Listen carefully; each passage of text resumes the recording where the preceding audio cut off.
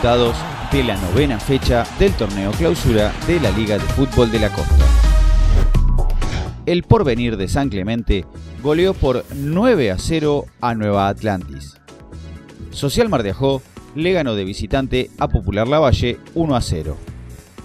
Social Santa Teresita ganó el clásico de la zona centro frente a Cadu 2 a 1.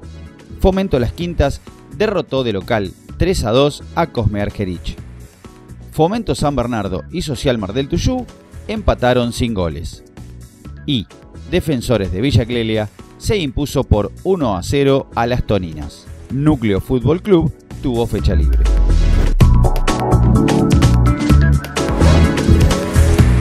Con nueve fechas disputadas, encabeza las posiciones del torneo el Porvenir de San Clemente con 22 puntos.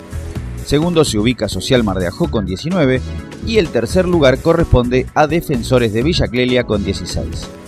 Núcleo y las quintas suman 15 unidades, Fomento San Bernardo tiene 14, Cosme 12 y Cadu 11. En la próxima fecha, este domingo 6 de noviembre, Mar del Tuyú juega de local con Social Santa Teresita. Cadu recibe a Nueva Atlantis. El Porvenir hace de local frente a las Quintas.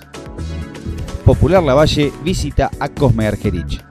Social Mar y Villa Clelia juegan el clásico de la zona sur.